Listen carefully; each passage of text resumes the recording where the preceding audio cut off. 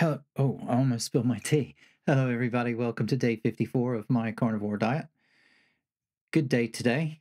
Uh, lots of good things to report. So let's start off with got to the gym today, did half an hour run on the treadmill, and didn't have any knee pain at all, which is amazing. So happy about that.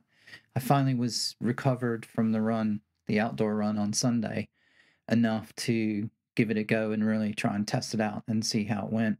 And um, it was really slow.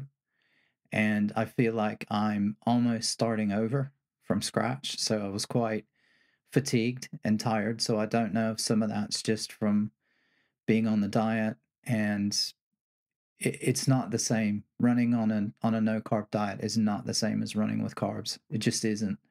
I know my body's using fat and it's burning fat and all that stuff, but it's it's harder. It really is. At least it is for me. And um, anyway, so I struggled through it, and I didn't get 5K. I just decided to do half an hour. It would have taken me about 40 minutes probably to do to do 5K, but I just thought I don't want to push it. I just want to sort of break myself in. So I need to run a few times to get myself back into shape, but it shouldn't take me too long. And then I can start to work on increasing the speed and and set some goals. So I have a I have a set of goals that I kind of use when I start running to get myself in shape. So I'll start those up again. But so I was totally, totally happy about that. Did another half an hour on the exercise bike. So I got in an hour of cardio today. And I was, I mean, I know I said yesterday was my strictest day yet, but I was basically lion diet today. I woke up this morning, I was actually hungry because, I mean, I only had 1,300 calories yesterday, which was, is nothing. And um, I wasn't surprised that I woke up starving, like properly hungry. My stomach was growling. And I had to do this go run, but I just thought, I'm just going to grab some some mince and just make some burger patties or whatever to have those before I left. And I couldn't I couldn't be bothered to kind of section it and what I just took the whole wadge that was in there and just cooked it up into a couple of patties and just ate them really quick. So that got me off to a really good start. And then I had a peppermint tea first thing this morning that I drank about half of and just didn't the the taste wasn't actually very good. And so I just switched on to water and drank water all day. I had some more, um, I had more meat at lunchtime and a piece of cheese, like cheddar cheese. Um, not that shitty American pro, sorry, not that processed fake cheese stuff, like actual cheese. Um, so that was okay. And then this evening I had two, I had a couple thin steaks and I had some more cheese and I did have a couple of peanuts. But other than that, didn't have any bad drinks, no coffees, no teas, no nothing but water all day. Um, so anyway, yeah, I felt pretty good, and I am slowly weaning myself off the coffee and tea. Uh, I do have a warm glass at the minute because it's still freezing, and this is the next thing that I want to talk about. So, um, anyway, macros today. So I did weight went down a little bit yesterday. Had basically basically the same. Um, so other than today, I had nearly fifteen thousand steps because I went to the gym, and I had like two thousand calories. So more calories today as well. But in all of that, I still had less than twenty grams of carbs. So, and which is really good, and nearly two hundred grams of protein. So, yeah, today was a day um, probably that I should have every day. Um, so we'll see if I can continue that. My my wife got loads of really good stuff um, for me at the grocery store um, when she went yesterday. So I've got some really nice steaks in there. I've got some other stuff. We'll probably have some eggs tomorrow in the morning as a family with some sausage, which will be really nice. And I'll cook the sausage first, and then I'll fry the eggs in the in the in the grease from the sausage. So that'll be nice. And yeah, so we'll see how I get on. I'm going to try and get to the gym more. I know I've said that.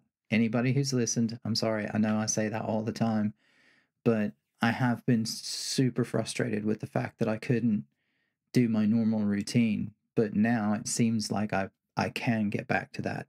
I'm going to be very very careful for the first probably couple of weeks just I don't want to push it too hard and re-injure myself cuz then I'm out for another 3 months. And I really don't want that. So I'm going to take it steadily, but I am excited to be able to to run again. Um, which I would have if you'd asked me 5 years ago if if those words would ever come out of my mouth, they wouldn't. Um so the other thing I wanted to talk about today, and I know I, I know, I know, I still have the film, the vegan propaganda film that I want to talk about, uh, but I'm just not. I don't. I, I haven't done the prep that I wanted to do to think about it. So I've got to get my thoughts together. So hopefully tomorrow I'll have some time to do that. Um, now that it's the weekend, so hang tight. I will get to it. But the other thing I wanted to talk about is I'm cold all the time now, and as and I remember this from the last time that I sort of lost a bit of weight. And I'm I'm not where I was before, but I'm still noticing it quite a lot. And I'm freezing most of the time now. I'm so cold.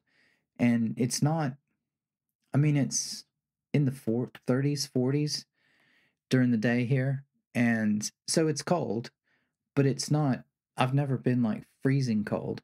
And I mean, I've even got hair to keep me warm. It, you know, when I'm outside or whatever, I can put it down and it actually, you know, helps to keep me warm. But even that doesn't really help. And I don't know if that's something that other people have experienced that maybe if you've had more weight and then you lose the weight and you've got less fat and whatever, do you feel colder? I don't know. Is that a thing? I don't know if it is or not. I don't know if it's just me. Is it psychosomatic that I don't know. I kind of felt like a polar bear before, and now I don't. And maybe that goes back to the psychology stuff that I was talking about and body image and all the other stuff. But you know, even when I'm sitting downstairs, if we're watching TV or something, I'm just literally I'm just cold all the time, and I don't know why. So if that's some weird side effect of the diet and people know what that is and they go, oh yeah, you know, you got to eat more potassium because you tend to be. cold. I have no idea.